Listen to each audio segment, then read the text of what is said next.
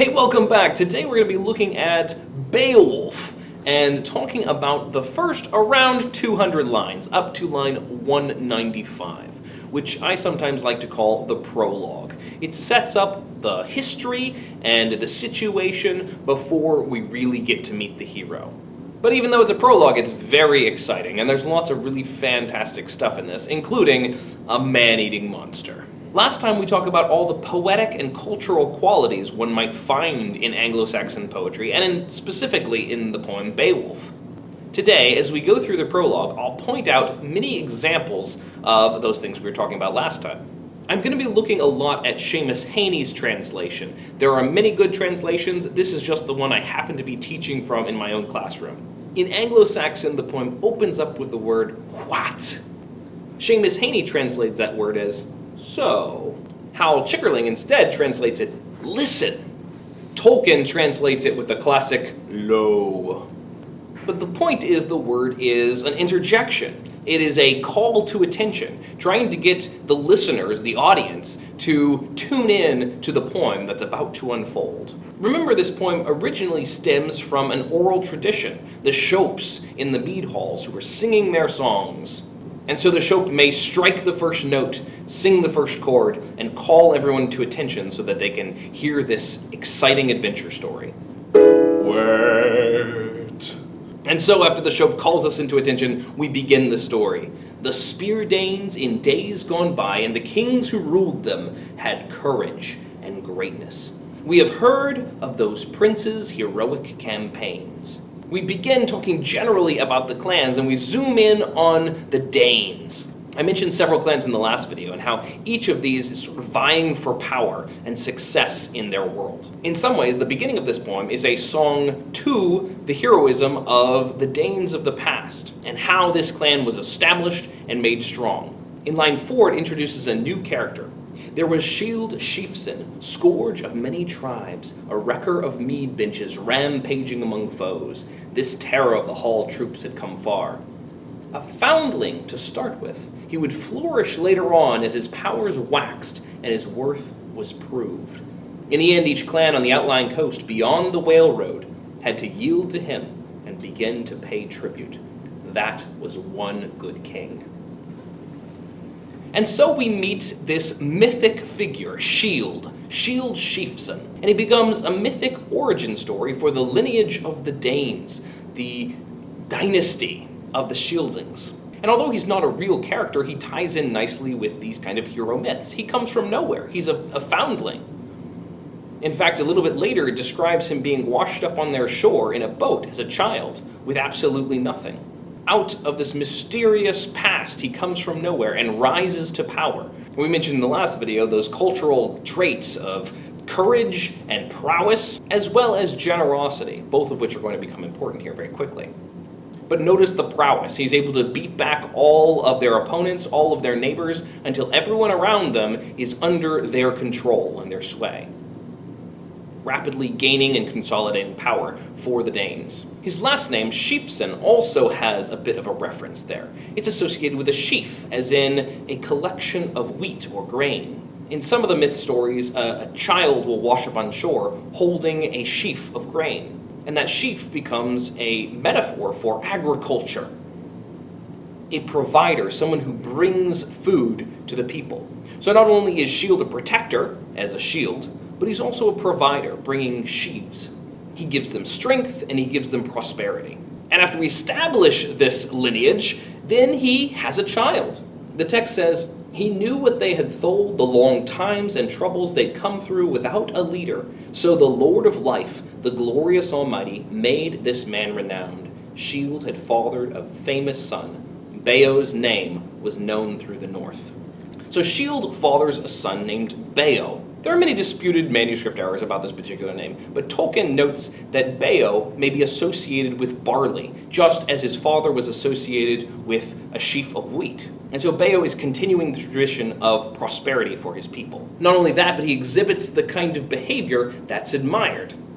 A young prince must be prudent like that, giving freely while his father lives, so that afterwards in age when fighting starts, steadfast companions will stand by him and hold the line. So while his father is still alive, Beo exhibits great generosity, which again adds to the strength of the bonds he has, so that when he rises to power, he's clearly the right choice, establishing this dynasty. Both Shield and Beo are mythic characters, but right after this, Beo's son is called Halfdane, and he is a historical figure. And so we have this interesting blend of mythic lineage as well as history. This is very common among these old Anglo-Saxon stories and songs, a way of establishing where we come from all the way back into mythology. But before we get to Halfdane, there's a funeral scene we have to watch. Shield was still thriving when his time came, and he crossed over into the Lord's keeping. His warrior band did what he bade them when he laid down the law among the Danes. They shouldered him out to the sea's flood, the chief they revered who had long ruled them. A ring-whorled prow rode in the harbor, ice clad, outbound, a craft for a prince. They stretched their beloved lord in his boat, laid out by the mast, amidships the great ring giver. Far fetched treasures were piled upon him in precious gear. I never heard before of a ship so well furbished with battle tackle, bladed weapons, and coats of mail. The massed treasure was loaded on top of him, it would travel far out into the ocean's sway. This beautiful description of a funeral scene. He's laid in the boat for the what we call the Viking burial, right? And he's piled high with treasure, and they push it out into the ocean and watch it drift away. This perfectly mirrors his arrival. When he arrived with absolutely nothing, here he is leaving with great treasure, showing the success between the two. But he comes from a mysterious somewhere beyond, and he goes also to a mysterious somewhere beyond. We see that that idea of the great hero who arrives sort of out of nowhere and then drifts back into nowhere in the end is a common old story thing. You think might think of Arthur and the, the death of King Arthur as well. And Beo takes over and does a good job, but it quickly moves on to his descendants. After Beo is Halfdane, the first real historic king. Halfdane has four children. One of them is a daughter who her name is broken out of the manuscript because of the damage to the original manuscript of Beowulf. It was in a fire back in the 1700s and was barely rescued, and some parts are still damaged. Fortunately, we still preserve this wonderful poem. But the daughter of Halfdane marries Onela the Swede.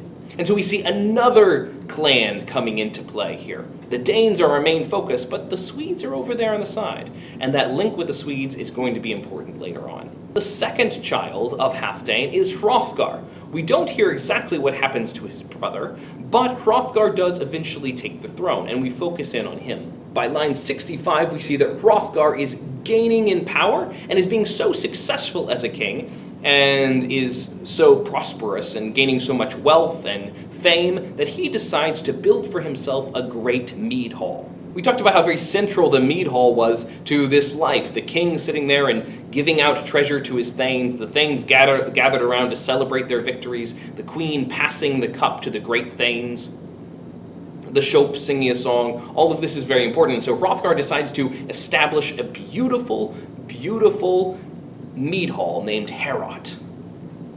He sends for all these materials, he builds this beautiful hall, and he fills his role of sitting there and passing treasure out, that generosity that we expect of an Anglo-Saxon ruler. Right in the middle of describing this hall and its wonder, the text says, The hall towered, its gables wide and high, and awaiting a barbarous burning. That doom abided, but in time it would come, the killer instinct unleashed among in-laws, the bloodlust rampant the Anglo Saxon sense of fate and doom hints in the foreshadowing here. Although this hall is beautiful now, its destruction will come eventually. It's going to burn. And in fact, the burning of the hall isn't an important part of the story at all. There's just that constantly that sense of uh, foreshadowing and doom in Anglo Saxon poetry. But when we look closely at where this burning comes from, especially since we're about to meet some monsters, we see that the burning doesn't come from some sort of hideous monster that crawls out of the deep, but rather it comes from in laws and bloodlust. The destruction of beautiful things comes from the violence inherent in the culture and the clashes between clans. We've seen that sometimes the clans marry off their daughters to other clans in order to try to establish some kind of peace but that frequently breaks apart. And in fact, that's what's going to happen to Heorot. they're going to try to make peace with the Heathobards, and it's not going to go well. And it's going to lead to lots of fighting and lots of destruction. And so when we look at the monsters, when the monsters actually come, we see, of course, these are, are mythic elements. These are, are elements of, of fairy tale and storytelling. And yet, in some ways, the monsters reflect the violence and cruelty within people themselves. They're, in some ways, a projection of the evil that uh, we see in our failure to unite and hold together. This monster is going to be introduced in the very next lines. Then a powerful demon, a prowler through the dark, nursed a hard grievance. It harrowed him to hear the din of the loud banquet every day in the hall, the harp being struck, and the clear song of a skilled poet telling with mastery of man's beginnings how the Almighty had made the earth, a gleaming plain, girdled with waters. In his splendor he set the sun and the moon to be earth's lamplight, lanterns for men, and fill the broad lap of the world with branches and leaves and quickened life in every other thing that moved. In the hall, they're singing songs. The Scop, the poet, is singing songs of creation and the things that God has made. Remember that balance I talked about between the Christianity of the poet and the pagan culture that he's talking about here. In this case, we see sort of a united idea of a creator God. And that wonder at creation and the wonder at the almighty power that created this world offends this creature of darkness, making him crawl out and want revenge. It hurts him to hear the beautiful singing. Line 99 So times were pleasant for the people there until finally one, a fiend out of hell, began to work his evil in the world. Grendel was the name of this grim demon haunting the marshes, marauding round the heath and the desolate fens. He had dwelt for a time in misery among the banished monsters, Cain's clan, whom the Creator had outlawed and condemned as outcasts. For the killing of Abel, the eternal Lord had exacted a price. Cain got no good from committing that murder, because the Almighty made him anathema and out of the curse of his exile there sprang ogres and elves and evil phantoms, and the giants too, who strove with God time and again until he gave them their reward. Again, here's that place where the poet creates that balance. So he's got this monster, and this monster comes from a tradition of mythology, the dark Scandinavian monsters. And if you look at like Norse mythology, which you may be familiar with, you'll see things like the the Jotun, the the giants that Thor is always fighting, or the dark elves, or some other creatures that lurk in the dark that the gods are always in contest with. Well, the poet is keeping that part of the tradition. That's a, that's a key part of the story. But he's found a way to work it into Christianity somehow. He's made these creatures the descendants of Cain, the cursed one. In the Bible, Cain was the first murderer, the one who killed his brother out of jealousy. And you can see how significant the idea of brother killing is in Anglo Saxon culture. After killing his brother, Cain is cursed. And in this text, all of his descendants are these monsters. And Grendel, being a descendant of murder and violence, a child of violence, comes back to hate the Creator there's one fun Anglo-Saxon word in the midst here. Heaney translates it as evil phantoms, but the word is orknas, dead walkers, kind of like a kind of creeping zombie kind of thing. But you can also see the root there, orc, which has to do with death. And Tolkien, of course, used that as the name of some of his most notorious villains, the orcs. They were corruptions of what was good and death out of life. Obviously, he was very inspired by Anglo Saxon poetry. So in the night, Grendel sneaks into the hall and sees them all passed out after their parties and celebrations. Suddenly, then, the god cursed brute was creating havoc. Greedy and grim, he grabbed 30 men from their resting place and rushed to his lair, flushed up and inflamed from the raid, blundering back with the butchered corpses. And then, as dawn brightened and the day broke, Grendel's powers of destruction were plain. Their wassail was over. They wept to heaven and mourned in their mourning. Their mighty prince, the storied leader, sat stricken and helpless, humiliated by the loss of his guard, bewildered and stunned, staring aghast at the demon's trail in deep distress.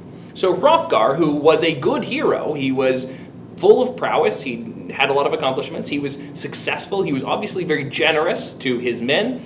He's been the hero up to this point, now finds himself powerless in the face of this creature and this monster. This is not a force he knows how to beat. And the force is not going to stop because the very next night Grendel comes back and eats and murders a whole bunch more people. And so it continues on and on and on. It was easy then to meet with a man shifting himself to a safer distance, to bed in the bothies, for who could be blind to the evidence of his eyes, the obviousness of that hall watcher's hate? Whoever escaped kept a weather eye open and moved away. Hrothgar's men aren't cowards, but they're smart enough to realize if you're going to keep staying in this hall, you're going to be eaten.